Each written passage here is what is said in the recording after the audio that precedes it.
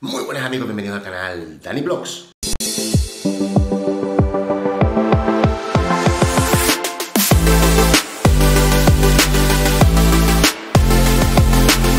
El antimadridismo está por todos sitios. Esto lo tenemos súper claro. Soy me notáis un poquito extraño que tengo un trancazo cogido encima tremendo. Tengo ahí la nariz y la voz y, la garganta y no puedo expresarme como yo quiero realmente. Ahora mismo antes de empezar el vídeo me ha dado un ataque de tos aquí tremendo. Digo, a ver que no voy a poder hacer el vídeo. Pero aquí estoy. Bueno, como decía, el antimadridismo está ya por todos sitios, te lo encuentras en cualquier lado. Son como las megas, veis las ailas.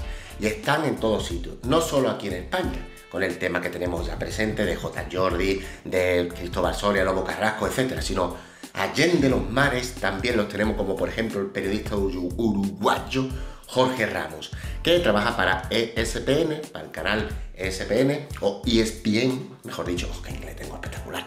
Y el tío ha despotricado tremendo, se ha quedado a gusto para defenestrar, como siempre digo, y dejar ahí tirado en los bajos fondos a Vinicius, Bellingham como posibles ganadores del balón de oro. Esto es tremendo.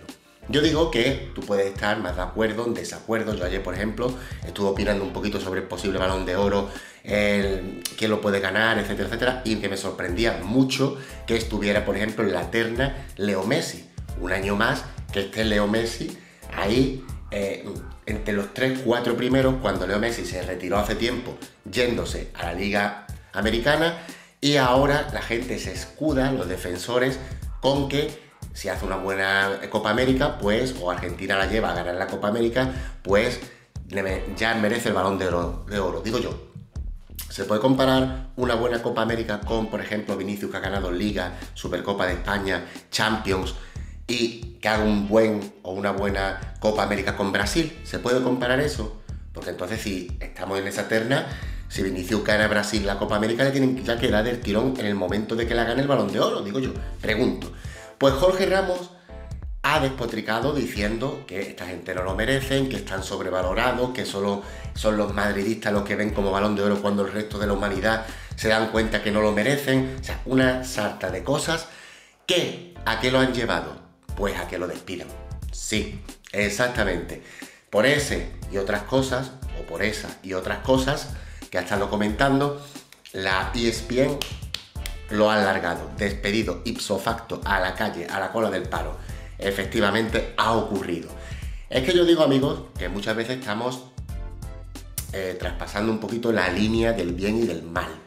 Tú puedes opinar sobre Real Madrid, si, eres madridista, o sobre el Barça, como yo aquí de vez en cuando opino sobre el Barça, critico al Barça, pero no con esa bufanda puesta en plan como si te pones así, como los burros le tapan las orejas, los ojos y tal, y vas atacando sin desmedida contra el Barça. No, se puede criticar, igual que yo aquí en el canal también he criticado un montón de veces al Madrid, cuando me ha parecido cosas que no ha hecho bien, partidos que ha jugado mal, etc.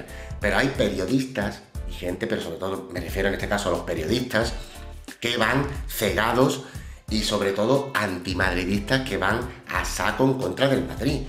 Y esto yo creo que hay muchas cadenas que se dan cuenta, muchos medios que se dan cuenta y al final dicen que yo, yo quiero aquí esto, pero tampoco una cosa radical. No quiero radicales aquí.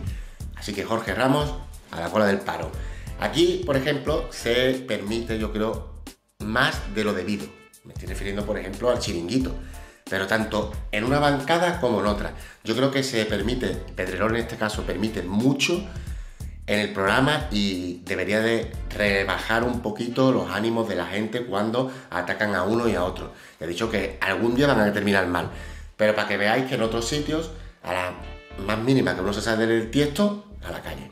En fin, amigos, esto es lo que tiene, ya digo, ser antimadridista, de ir en contra de un equipo ciegas, a tope, radical, sin ningún tipo de miramientos, al final terminamos como terminamos.